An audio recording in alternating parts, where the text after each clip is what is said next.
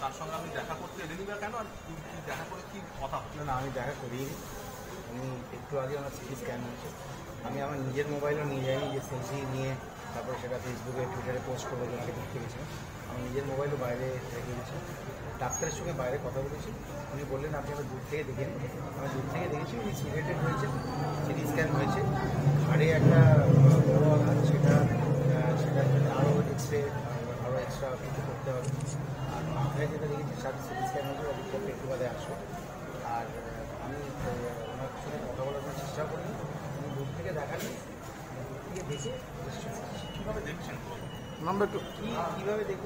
আমি অত্যন্ত নিন্দাজনক ঘটনা আমাদের রাজনীতিক নীতি, আদর্শ, যতই উত্তর মেরু, দক্ষিণ মেরু আপনি একটা জায়গায় যখন প্রতিদ্বন্দ্বী হিসেবে লড়ছেন তারা আপনার প্রতিদ্বন্দ্বী হতে পারে। কিন্তু তারা তো আপনার শত্রু নয় যে অন্য কারও আঘাত পেলে কোনো ইয়ে হলে সেখানে কিন্তু আমার মনে হলো ভেতরে গিয়ে, উপরে গিয়ে যে আমার মনে হয় যেটা যেটা মনে হলো আমার যে মেন্টাল ট্রমা যেটা ক্রিয়েট করে না এই ধরনের আঘাতে, তাতে পার্টিকে ডিমোরালাইজ করে দেওয়ার একটা প্রভোকেশন থাকে। সেটাই সেটাই খারাপ। এবং তৃণমূলটা করেই থাকে।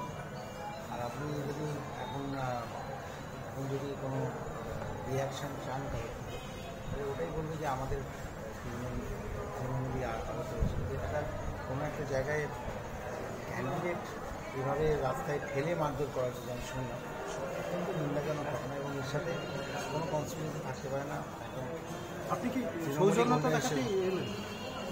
না একসঙ্গে লড়ছেন অন্য দলের তাতে কী হয়েছে বলুন তো? কী মুশকিল বলতে এটা এইভাবে দেখায়। আমার কোথায় গেল আমার বিজেপির একটা ইয়ে ছিল, বার্তা ছিল, আপনারা দেখেছি আগে যারা ছবি তুলেছেন প্লিজ একটা বিফোর আফটার আমার এই ধরনের, আমি এমনিতেও ক্যামেরার সামনে প্রচুর আছি, বুঝলেন? আমার এসব নিয়ম নেই। আমার বিজেপির বার্তাটাও কোথায় গেল? পেছনে আমি খুলে দিয়ে গেছি। সিপিএমের ক্যান্ডিডেটকে দেখতে এসেছি বলে বিজেপির একটা সৌজন্যের তো কোথাও একটা ব্যাপার থেকেই যায়। আমিও ক্যান্ডিডেট কালকে এরকম হতে পারে যে দেখুন, তৃণমূলের যারা প্রার্থী, তারা কোথাও আহত হবে না। কারণ অন্য পার্টি সিপিএমের আগে ছিল অনেক গুন্ডা এখনও হয়তো কিছু আছে।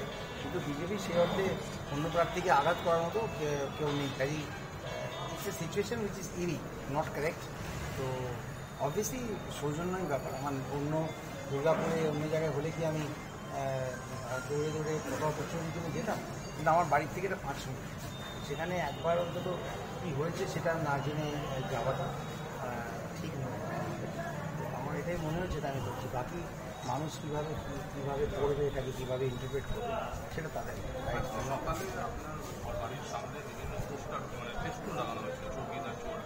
আপনি সেখানকে সেখানে নিজেই ছিঁড়ে সেগুলোকে দাঁড়িয়ে দিয়েছেন এটা কি মনে হচ্ছে? এটা কি সকালবেলা আমার জামুরিয়াতে যেখানে মিছিল হচ্ছিল ক্যাম্পেন র্যালি হচ্ছিল সেখানেও সশাস্ত্রী তৃণমূলের ছেলে ঢুকে আমার গাড়ি অব্দি পৌঁছে গেছিল গাড়িতে অন্য করে বাজানো বা বন্ধ করো রাস্তা কেমন এসেছিল ওদেরকে অবশ্যই আমাদের ছেলেরা অনেক সংখ্যায় বেশি ছিল বাইকে ছিল ইয়েতে ছিল, অনেক ছিল।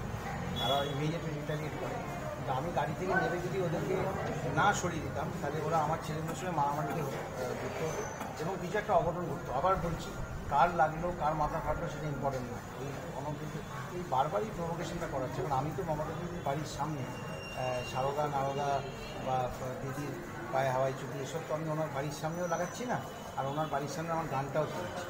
তো আমার ঠিক বাড়ির সামনে যদি আপনি লাগান না অনেক তো জায়গা আছে, ঠিক আমার বাড়িতে সমস্ত বিজেপির যারা বড় নেতা বড় নেতা মানে যারা রিয়েলি বড় নেতা, তারা সবাই সকাল রাত্রি ভিড় করে সবাই হচ্ছে তারা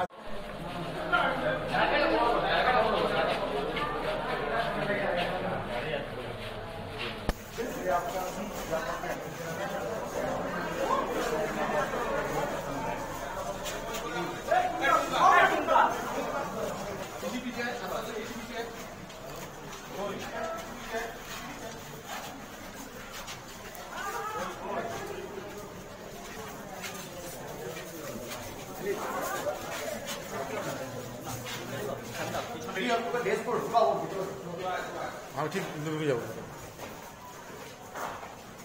कोई एक छोड़ी करो बस